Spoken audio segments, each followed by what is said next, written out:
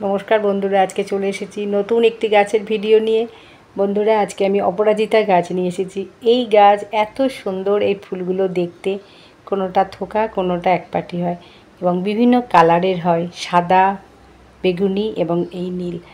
আমি যে ফুল গাছটা আজকে নিয়ে এসেছি, এটা থোকা, একটা অপরাজিতা গাছ। এটা আমার পুরনো এক বছরের গাছ। ফুল হয়ে যাওয়ার পর, বন্ধুরা, আপনারা নিচের অংশ থেকে একেবারে কিছুটা রেখে বাকিটার সমস্ত কেটে ফেলে দেবেন। তাহলে এই গাছটাতেই আপনার এইভাবে ঝাড় করতে পারবেন এবং অফুরন্ত ফুল ফোটাতে পারবেন। যেমন এই গাছের কুড়ি, তার সাথে ফুলও ফুটছে বেশ অনেকগুলো করে। বন্ধুরা, তার জন্য তো বিশেষ একটা খাবার দিতে হবে, পরিচর্যাটা ঠিকঠাক আপনাদের করতে হবে। এই ফুল গাছ যখন একটু বড় হবে একটা লাঠির সাহায্যে বেঁধে দেবেন। কেননা এগুলো লতানো গাছ। আর এই গাছ যখনই একটু বড় হতে থাকবে, যে ডগা, যে ডগার অংশগুলো আপনারা কেটে ফেলে দিতে হবে। কেননা আপনারা যদি ডগার অংশগুলো না কাটেন, তাহলে কিন্তু এই গাছটা অনেক অনেক বড় হয়ে যাবে।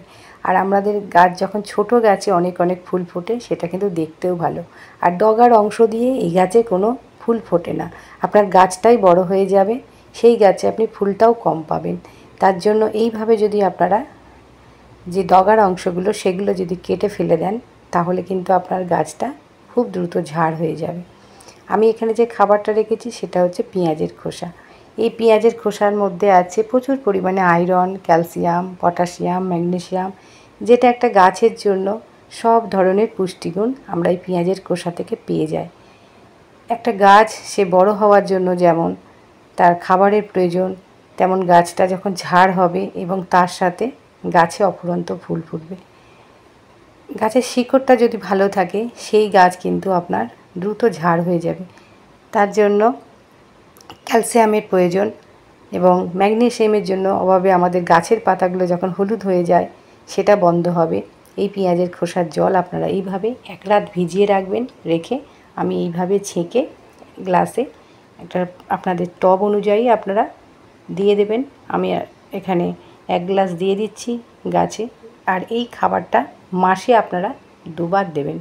তাহলেই আপনাদের যে সমস্ত গাছে একেবারে ফুল আসছে না, বেশি ফুল ফোটাতে চাইছেন, সেই গাছ ভরে আপনার অফুরন্ত ফুল ফুটতে শুরু করে দেবে।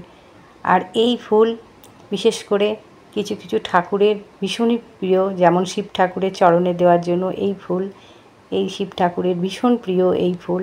আমরা যদি প্রতিদিন ঠাকুরের স্থানে এই ফুল দিই, ঠাকুরও কিন্তু ভীষণ খুশি হবে। আর বাড়ির যে সমস্ত নেগেটিভ আছে, সেগুলো চলে যায়। এই ফুল গাছ আপনারা অবশ্যই বাড়িতে একটা রাখবেন বন্ধুরা। আজকের মতো ভিডিওটি শেষ করছি। আর এই ভিডিওটি যদি ভালো লাগে, ভিডিওটিতে অবশ্যই একটা লাইক করবেন। আজকের মতো নমস্কার।